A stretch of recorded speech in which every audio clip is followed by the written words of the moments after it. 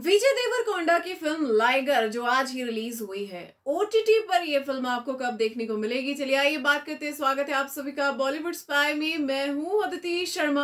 तो दोस्तों, हर तरफ़ लाइगर का बोलबाला है इस वक्त और फ़िलहाल तो इन्हीं चीज़ों पर सभी की नज़रें हैं कि भाई इसकी ओपनिंग डे की कलेक्शन कितनी रहने वाली है। लेकिन दूसरी तरफ़ लोग ये जाने के लिए भी उत्सुक हैं कि लाइगर भाई वो अपने घर पर बैठकर कब देख सकते हैं? ओटीटी पर ये फ़िल्म कब रिलीज़ होगी? तो जैसे कि नॉर्मल सी चीज़ है, एक चलन है कि चार हफ़्ते बाद जो है फ़िल्म ओटीटी प्लेटफॉर्म पर आ जाती है।